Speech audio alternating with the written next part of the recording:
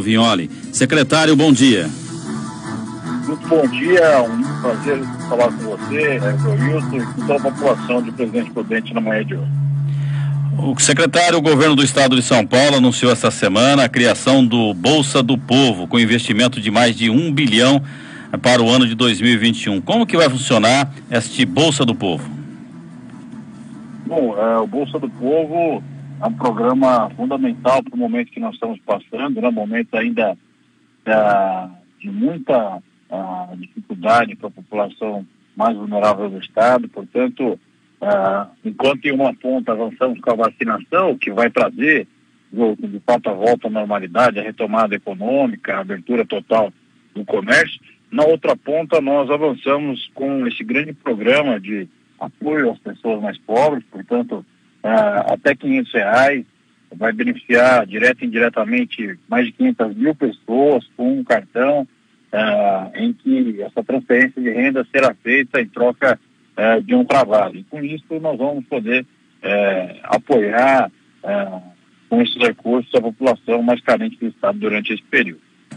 O projeto já foi enviado à Assembleia Legislativa. Como que está o trâmite?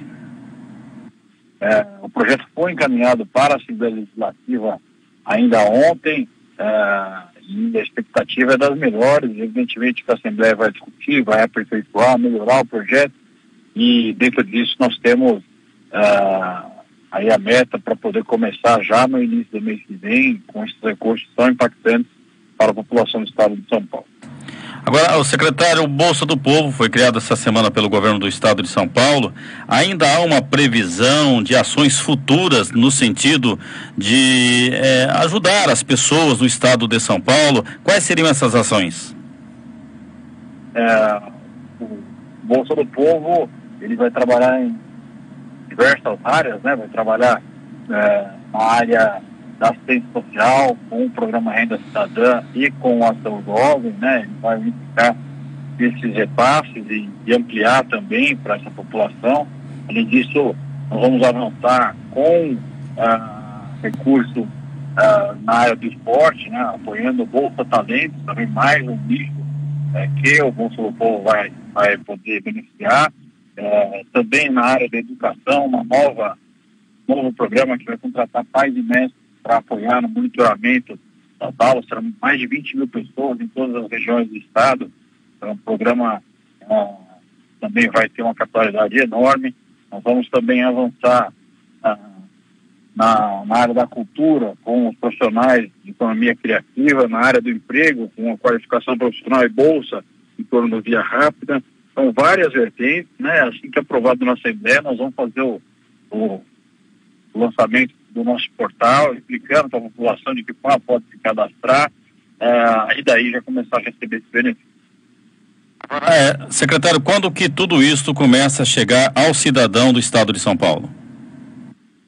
Então, nós agora trabalhamos com a aprovação uh, na Assembleia, né? A expectativa é que possa ter uma aprovação uh, célere, com toda a discussão, com todo o aperfeiçoamento da Assembleia, a melhora do projeto, e, e consequentemente, a gente poder implementar já no início do mês que vem uh, esse importante benefício.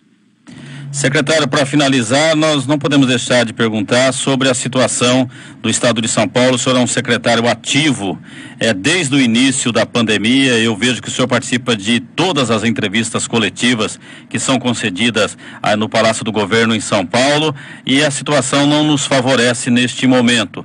É, é claro que o anúncio vai ser feito pelo governador e não queremos aqui que o senhor é, é antecipe aquilo que o governador vai anunciar, o governo do Estado de São Paulo vai anunciar hoje às 12h45. Mas a possibilidade é forte de continuarmos na fase emergencial?